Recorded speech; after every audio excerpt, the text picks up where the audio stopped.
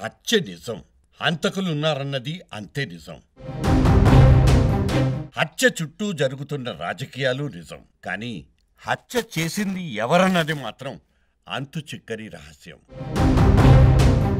ప్రతి ప్రశ్నకి సమాధానం ఉండి తీరుతుంది. సమాధానాలు రాని ప్రశ్నలుంటే ఉండొచ్చు. సమాధానాలు లేని ప్రశ్నలు మాత్రం ఉండవు. నాలుగేళ్ళ క్రితం రాష్ట్ర చరిత్రలోనే అత్యంత కిరాతకమైన బ్రూటల్ మర్డర్ జరిగింది. ఆనాటి ముఖ్యమంత్రి వైఎస్ సోదరుడు మాజీ మంత్రి వైఎస్ వివేకానంద తన ఇంట్లోనే అత్యంత దారుణంగా హత్యకు గురయ్యారు. ఇవాళ వాళ్ళిద్దరూ లేరు. నాలుగేళ్ళ తర్వాత ఇప్పటికీ వివేకానందను ఇంత క్రూరంగా హతమార్చిందెవరో తేలలేదు. తీర్పులు రాలేదు. అతను వివేకానందను హత్య చేయాల్సిన అవసరం ఎవరికుంది? వివేక హత్య వల్ల ఏ విధంగానైనా సరే లాభపడేది ఎవరు? ఎందుకు ఈ హత్య చుట్టూ రాజకీయాలు చిత్ర విచిత్ర విన్యాసాలు చేస్తున్నాయి? అసలు ఏం జరిగింది? ఏం జరుగుతోంది? ఈ దేశంలోనే అత్యున్నత దర్యాప్తు సంస్థ సిబిఐ ఈ కేసును దర్యాప్తు చేస్తోంది. అయితే దర్యాప్తు తీరు పట్ల అభ్యంతరాలు వినవస్తున్నాయి. సాక్షాత్తు సుప్రీంకోర్టే ఈ కేసు దర్యాప్తు ఎప్పటికి పూర్తవుతుందంటూ సిబిఐని సూటిగా ప్రశ్నించింది కూడా. ఈ నెల ముప్పైవ తేదీలోపు నివేదిక సమర్పిస్తామంటూ సంజాయిషీ ఇచ్చుకుంది సిబిఐ. దానికి తగ్గట్టే దర్యాప్తు వేగాన్ని పెంచినట్లు కూడా వార్తలొస్తున్నాయి. వైఎస్ వివేకానందరెడ్డి సోదరుడు వైఎస్ భాస్కర్ రెడ్డి తనయుడు అవినాష్ రెడ్డి ఈ హత్య వెనుక ఉన్నారన్నది వివేకానంద కుటుంబ సభ్యుల తాజా ఆరోపణ. ఆయన్ని అరెస్టు కూడా చేశారు. ఇంకేముంది? ఇక నెక్స్ట్ అరెస్ట్. అవినాష్ రెడ్డి అంటూ ఒక ఎంపీ గారు ఇల్లెక్కి గట్టిగా అరుస్తున్నారు. అంతెందుకు? కొన్ని మీడియా ఛానళ్ళు అంతే. ఆ తర్వాత శరా మామూలే. తెలుగుదేశం వందిమాగదులు. వారి రంగుడబ్బాలు అదే మాటను యాంప్లిఫై చేసి ఊదరగొట్టి పారేస్తున్నాయి.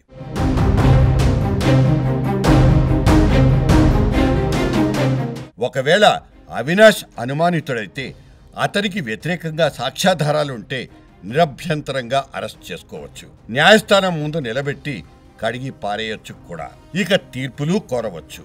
కానీ అసలు తీర్పుకు ముందే జోస్యాలెందుకు? ఆరోపణ అని ఎందుకు అనాల్సి వస్తోందంటే హత్య జరిగిన వెంటనే వివేకా కూతురు డాక్టర్ సునీతమ్మ నాటి సిట్ దర్యాప్తును ఉద్దేశించి మాట్లాడుతూ నాటి టీడీపీ నేత ఆదినారాయణ రెడ్డిని ఎందుకు విచారించలేదంటూ ఆనాడు ప్రశ్నించారు. దర్యాప్తును ఆనాటి ముఖ్యమంత్రి చంద్రబాబు నాయుడు ప్రభావితం చేస్తున్నారంటూ కూడా ఆమె ఆరోపించారు. అదే సునీతమ్మ ఇప్పుడు అవినాష్ రెడ్డిపై వేలెత్తి చూపిస్తున్నారు కూడా. అవినాష్ రెడ్డిని కాపాడడానికి ఇప్పుడు ప్రయత్నాలు జరుగుతున్నాయంటూ సునీత ఆరోపిస్తున్నారు. సునీత చేసిన రెండు ఆరోపణల్లో ఏది నిజం ఏది అసత్యం దేని వెనుక ఎవరి ప్రమేయం ఉంది ఎవరి ప్రభావం ఉంది అన్నది తేల్చాల్సింది దర్యాప్తు సంస్థలే తప్ప రాజకీయ పార్టీలు కానే కాదు. ఇక్కడే నాణానికి అటువైపు కూడా ఒక్కసారి చూసొద్దాం రండి.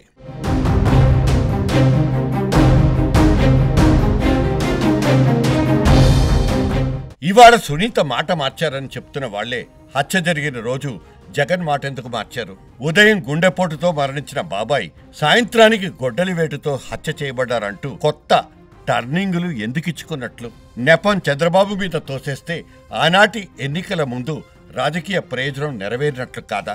అతను అవినాష్ రెడ్డికి వివేకాను హత్య చేయించాల్సిన అవసరం ఎందుకుంది? అసలు అవసరం ఎందుకొచ్చింది? కడప లోక్సభ స్థానానికి వివేక అడ్డు వస్తారనే అవినాష్ ఈ హత్య చేయించారన్నది అభియోగం. ఇప్పుడు దర్యాప్తు సంస్థ కూడా ఈ కోణంలోనే ముందుకు కదులుతున్నట్లు అభియోగ పత్రం కూడా చెప్తోంది. నిజానికి కడప లోక్సభ స్థానం నుంచి రెండు వేల పద్నాలుగులోనే అవినాష్ గెలిచి ఎంపీ అయ్యారు. రెండు వేల పంతొమ్మిది ఎన్నికల్లోనూ అవినాష్ కే కడప టికెట్ కేటాయించారు కూడా. అవినాష్ గెలుపు కోసం వివేకానంద రెడ్డే స్వయంగా ఎన్నికల ప్రచారం కూడా చేస్తున్నారు. వివేకా దారుణ హత్యకు గురైన రోజు కూడా ఆయన అవినాష్ తరఫునే ప్రచారం చేశారని వివేకా కూతురు సాక్షాత్తు సునీతమ్మే హత్య జరిగిన కొత్తలో స్పష్టం చేశారు. మరి అవినాష్కు ఆ అవసరమే లేకపోతే అవినాష్ చుట్టూరానే కేసు ఎందుకు తిరుగుతోందన్న ప్రశ్నలు సహజంగానే వస్తాయి. హత్య వెనుక ఇంకెవరున్నారు? సునీత భర్త రాజశేఖర్ రెడ్డి ఆయన సోదరుడి పేర్లు తెరపైకి వచ్చాయి. వివేకాకు చాలా మంది మహిళలతో ఎఫ్ఐఆర్స్ ఉన్నాయని అంటున్నారు. ఓ ముస్లిం మహిళతో వివేకా పరిచయం కాస్త పెళ్ళికి దారి తీసిందని వాళ్ళకి షెహన్షా అనే కొడుకు కూడా ఉన్నాడని అంటున్నారు.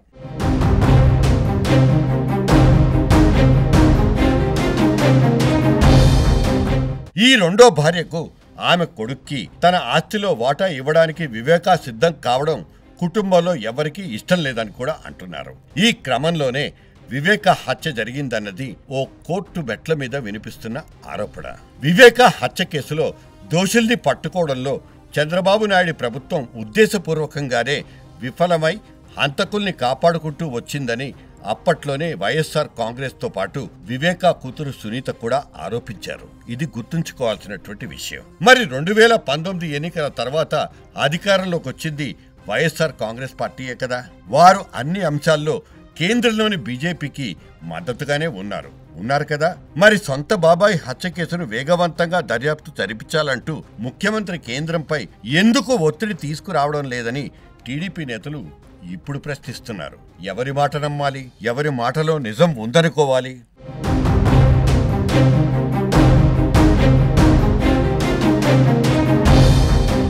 ఒక్కటి మాత్రం నిజం. వివేక హత్య జరిగిన తీరు మాత్రం ఒళ్ళు గగురు పొడిచేలానే ఉంది. మామూలు రాజకీయ హత్యలో లేక ఇంకో కారణంతోనో జరిగే హత్యలు ఇంత బ్రూటల్గా జరగబడుతున్నారు జరగబట్టున్నారు మాజీ పోలీస్ అధికారులు. వివేక హత్య వెనుక మరో కారణం ఉందా? మోటివ్ వేరే అంటున్నారు. అసలు ఆ కోణంలో దర్యాప్తే జరగటం లేదా?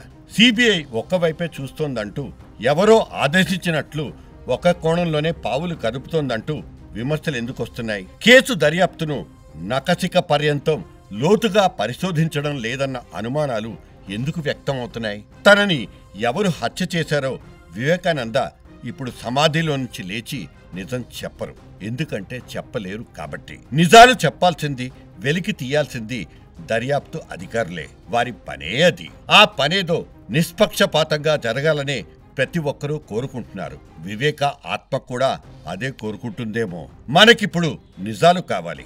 అవే మాటలు మనం మాట్లాడుకోవాలి. ఇక్కడ అవినాశుణ్ణి సమర్థించే అవసరాలు మాకెవ్వరికీ లేవు. అలా అని సగం నిజాలతో కథలు నల్లేసి కల్పితాల్ని ప్రసారాలు ప్రచారాలు చేయడం కూడా తప్పే. రాజకీయ కళద్దాలు తీసేసి చూసిన వాళ్ళకే నిజాలు కాస్త స్పష్టంగా కనిపిస్తాయి. అందుకే ఇవాళ ఇప్పుడు నిజంగా నిజాలు మాత్రమే కావాలి. నికార్చైన నిజాలే కావాలి. నిజాలు వాటంతటవే నడుచుకుని రాకపోవచ్చు రాలేకపోవచ్చు. అవసరమైతే వాటిని జుట్టు పట్టుకుని బయటకు లాగాలి. ఆ నికార్సైన నిజం ఎవరి పక్షాన ఉండదు ఉండబోదు. అటువంటి అన్వయింపులు రాజకీయ పక్షాలు ముఠాలు మాత్రమే చేసుకుంటాయి తప్ప నిజమెప్పుడూ నిజమే. నిజానికి పక్షపాతాలు ఉండవు. వివేక హత్య కేసులో అందరూ అదే కోరుకునేది. జరగాల్సింది కూడా సరిగ్గా అదే. ప్రతి ప్రశ్నకి సమాధానం ఉండి తీరుతుంది. Let the truth prevail